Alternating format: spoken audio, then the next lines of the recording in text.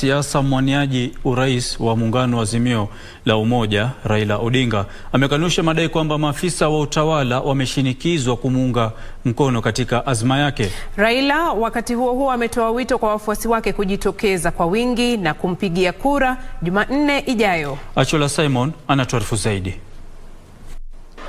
Now you said Uhuru will go home, but the work of uniting the people of Kenya will continue. So, the work of uniting the people of Kenya will continue.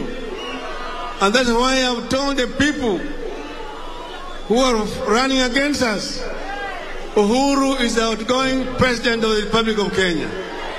Leave him alone. Let him go and retire in peace.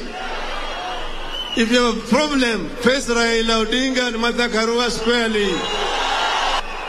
Don't come with, with shadow boxing and shadow shows. who want to rig the elections using provincial administration or there's uh, intention to intimidate members of the IEBC and so on. Hakuna kitu kama hiyo. Not a single vote should go uncast. Those who are sick, who are in wards in the hospital, go and get them, to take them to the polling station to vote and take them back to the wards.